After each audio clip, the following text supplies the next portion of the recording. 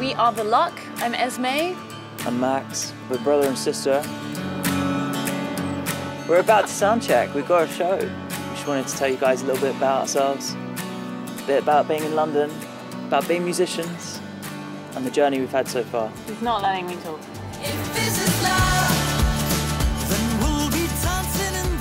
It started eight years ago. We were in New York, so I was visiting some friends, and Esme happened to be there too. We met up in an apartment in the East Village. We started writing this song. I just started singing some harmonies over it. We were in a shared apartment and this guy we didn't know came out of his room and just said, I don't know what you guys are doing, but the hairs on my arm just stood up. I just got goosebumps from your harmonies. So. One of the first songs we wrote was actually um, Holding On, and we took it all around the world with us. We ended up going to California because we were playing loads of shows in Europe and we kept on meeting Californians who told us to come to California and we could stay with them.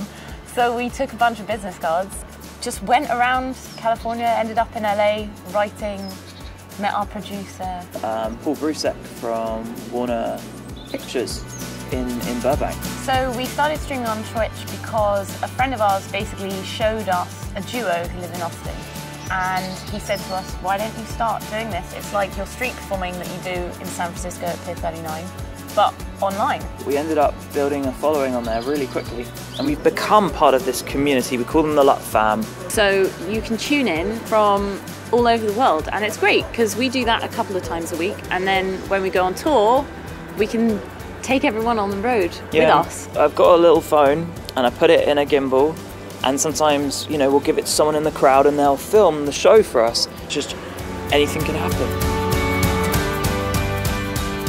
We just started our first uk spring tour. So far it's been really it's been amazing.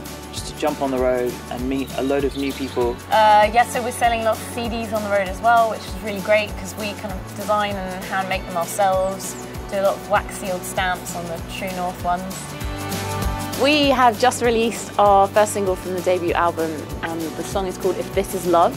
We've then got Ready to Run coming out. And Which we're, we're doing to, a video for. Yeah, we're going to do a music video for it. I'm really excited. Uh, and we had that mixed by Ash Howes, who is a very amazing mixer in the yeah, UK. Yeah, he's here. a legend. Um, he also mixed our track that's coming out after that called Lionheart in July, and the whole album's going to come out at that time as well. Yeah. So here we are, the luck.